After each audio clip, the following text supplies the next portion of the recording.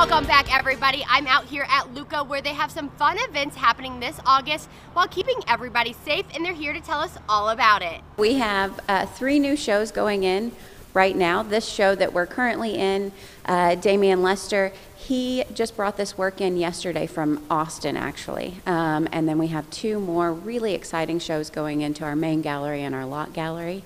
Um, so those are great. Our gallery hours are Thursday through Saturday from 11 to 5, and you can pre register online. So you just check in online, and then that keeps that interaction with other people down a little bit. We also have, um, really excited, um, we have an art market coming up on the 15th, Saturday the 15th.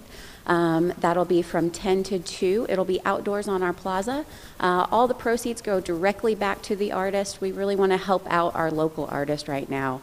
Um, so it'll kind of have that uh, farmer's market feel to it um, outdoors, mask required, hand sanitizing stations, but please come out and support the local artist in our community. And then on uh, August 21st, we have our virtual dinner en blanc. That's where um, we do a Parisian style picnic. It's a, a, program that's been going on for years in Paris. It's this pop up program. We've done it on our plaza before, but with COVID 19, we're switching to do a virtual one so you can do it from the comfort of your own home. Everybody dresses all in white.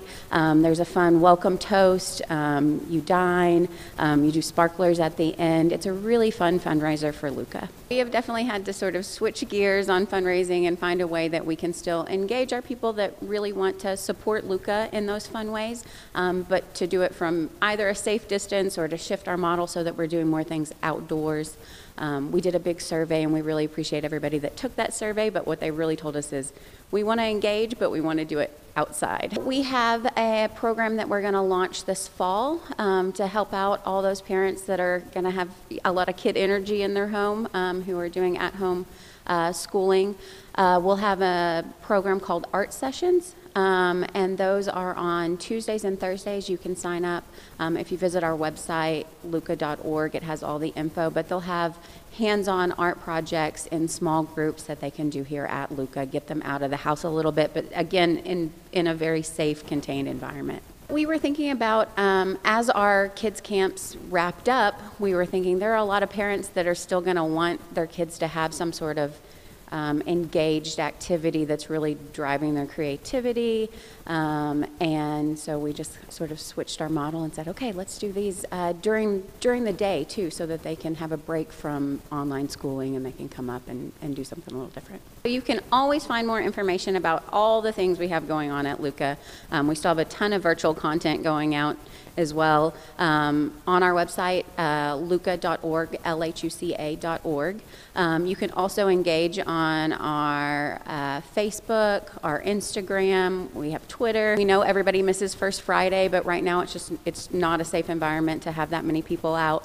Um, but people have been so understanding and really still very supportive of all the programs that we've been trying to put out virtually. August First Friday, we'll have a virtual First Friday. Um, you can check out uh, ffat.org. We are aiming to do our first First Friday, hopefully in October, but again, so completely dependent on uh, everybody staying safe and wearing their mask and, um, you know, keeping that distance so that we can hopefully get these numbers down and be able to have First Friday again. The best way to keep up with all this information is just go to their website. We'll have more Trends and Friends coming up right after the break, so make sure you stay with us.